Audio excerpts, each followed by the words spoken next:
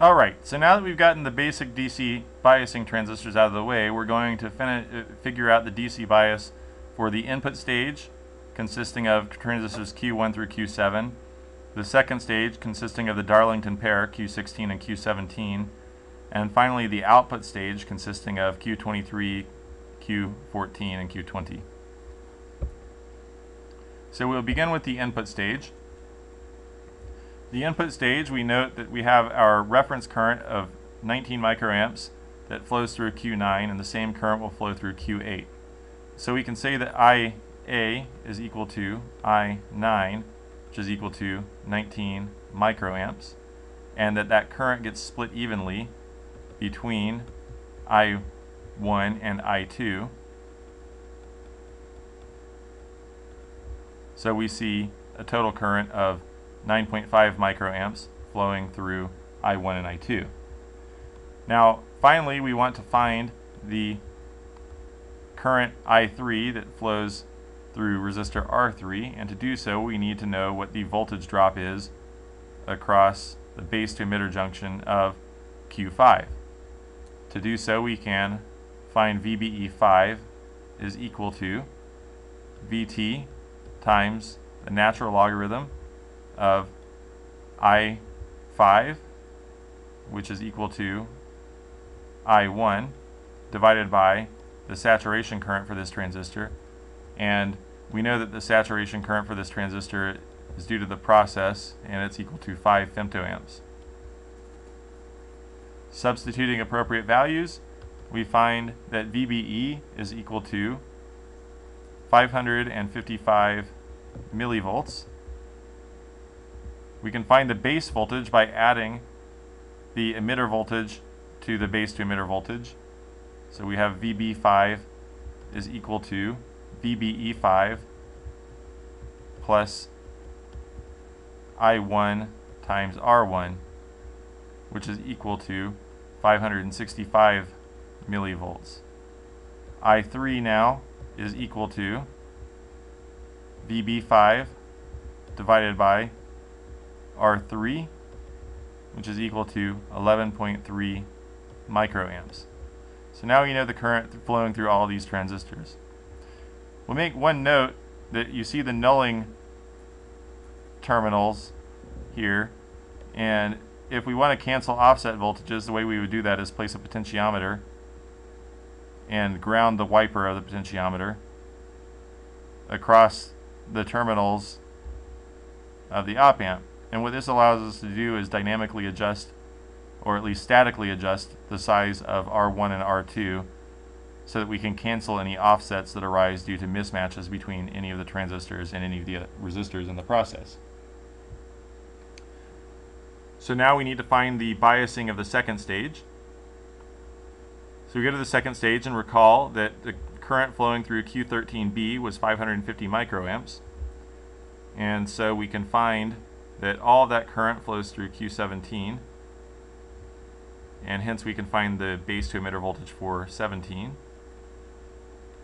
is equal to VT times ln of 550 microamps divided by 5 femtoamps.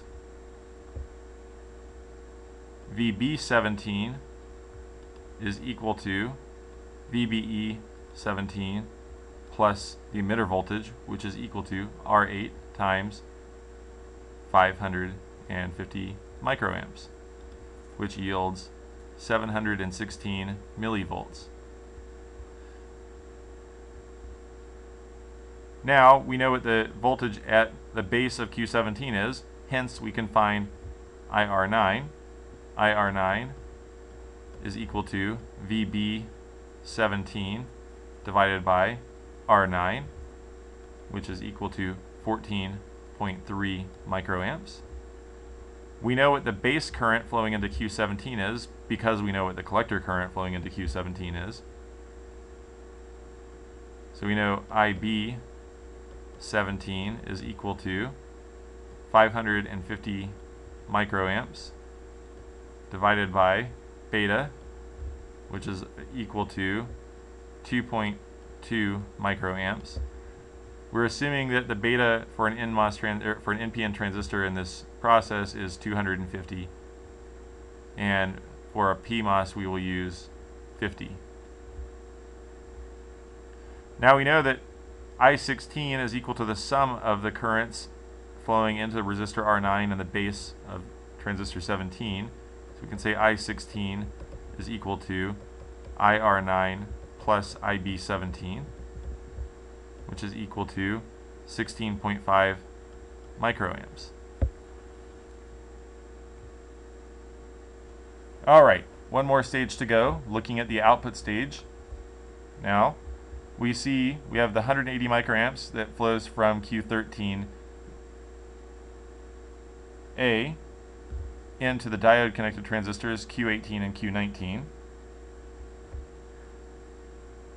So we can write here that VBE 18 is equal to I19 times R10, which is equal to VT times the natural logarithm of I18 divided by 5 femtoamps, which is our saturation current for an NPN device in this process. Now we also note that the sum of the currents flowing into I19 and I18 has to equal 180 microamps. So we can say I18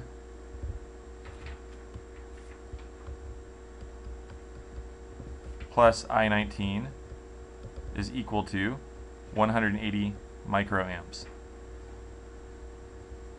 Solving these equations yields I18 is equal to 164 microamps and I19 is equal to 15.7 microamps. Now we'll note that we have a VBE drop from this node up to this node, and then one more VBE drop. And we note that because resistors R6 and R7 are small, the VBE drops for Q18 and Q19 are approximately equal to the VBE drops of Q14 and Q20.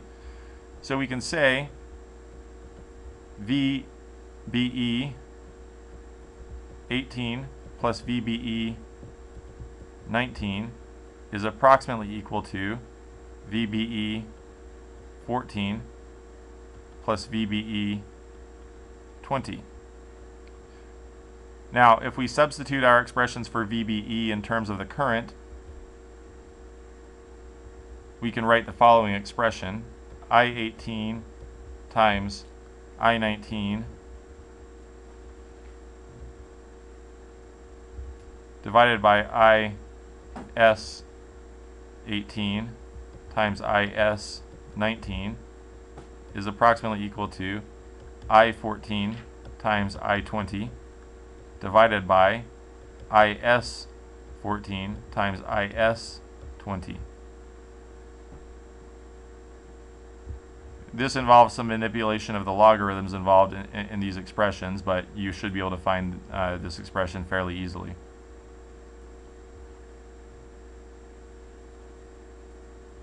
Now we note that the saturation currents for 14 and 20 are slightly different than the saturation currents for the rest of the transistors because these are output stage transistors and so they're engineered slightly differently.